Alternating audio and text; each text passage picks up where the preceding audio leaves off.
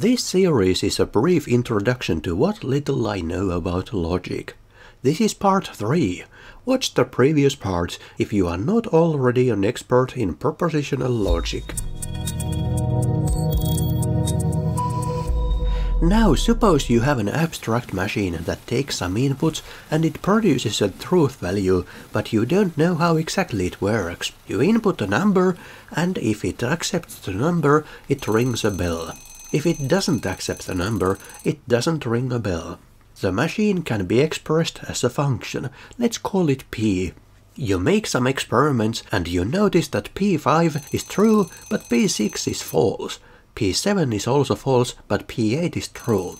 Now let's make room on the paper by expressing this in a more concise form we can say that numbers 5 and 8 are part of the relation P in our model, and numbers 6 and 7 are not part of the relation P in our model.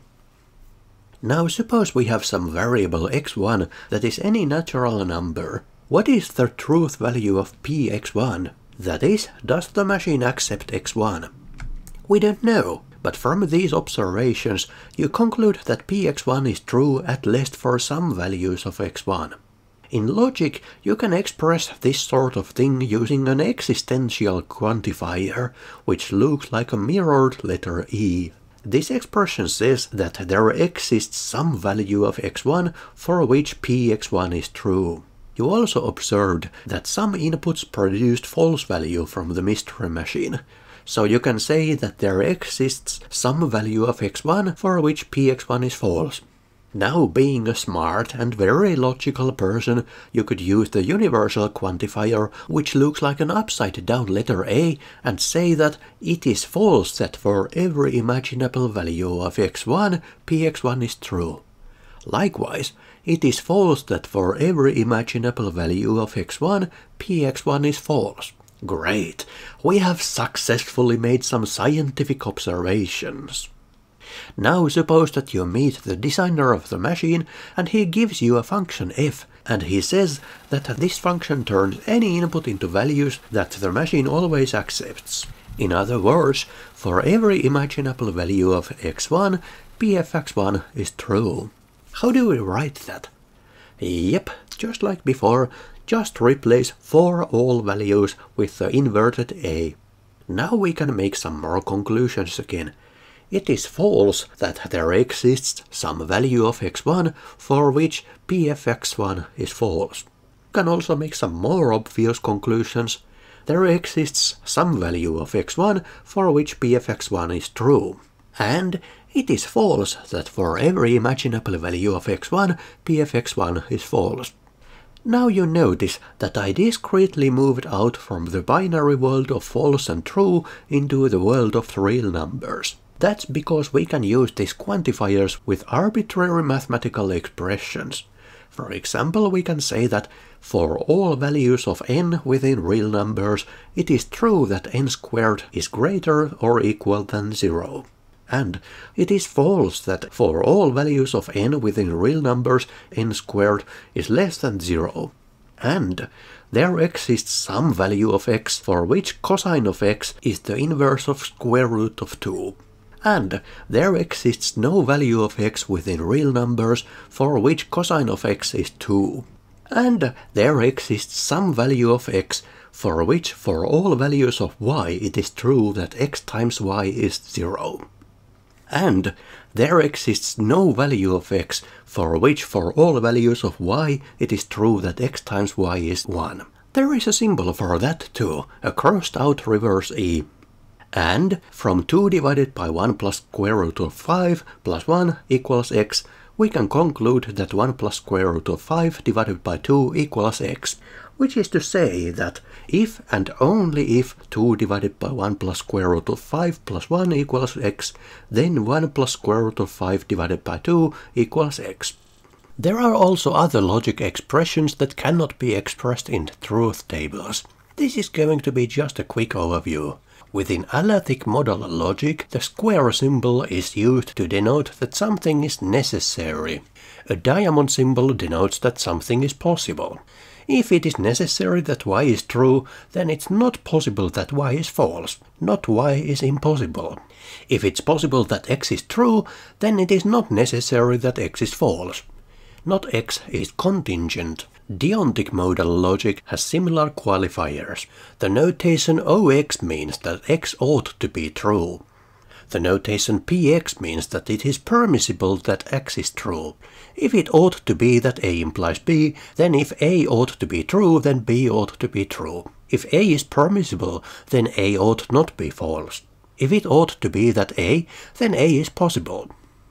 In temporal modal logic, px means that x was true at some point, fx means that x will be true eventually, gx means that x will always be true, hx means that x was always true, nx means that x will be true next. If and only if x will be true, then it is false that x will always be false. If and only if x was true, then it's false that x was always false. In doxastic modal logic, bx means that it is believed that x is true. A reasoner is accurate when for every proposition, if they believe in it, it is true. A reasoner is inaccurate when there exists a false proposition that they believe in. A conceited reasoner believes that they are accurate or that they are not inaccurate. However, I have not studied modal logic yet, so this series will not address these operators for more than this cursory glance. Now, in the field of logic, one common question that often arises is Given that we know, Insert phrase here. can we conclude that, Insert another phrase here. for example, suppose that we hear the claim, it is not true that Jill didn't go to movies and Jane didn't go to movies. Now the English grammar is ambiguous here, so let's add single quotes to make clear that the not true part is about the entire sentence and not just the first clause. Now, does this sentence mean exactly the same as neither Jill nor Jane went to movies? We can write the two sentences in terms of logic as follows. The proposition is that it is false that, begin phrase, not M1 and not M2, end phrase. And the proposition is that it is false that, begin phrase, M1 or M2, end phrase.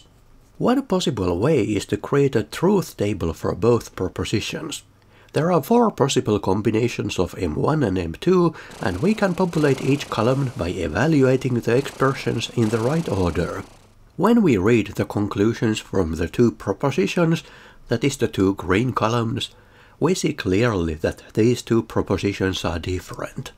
Now, can the aforementioned sentence be interpreted as Jill and Jane went to movies? From the truth table, we see that this is not a valid conclusion either. How about Jill or Jane went to movies? Now the two truth tables are identical. This is but one method to compare two propositions, and it works fine for propositional logic. There are multiple ways to arrive to these same conclusions, for example by utilizing de Morgan laws and many other identities listed on the screen.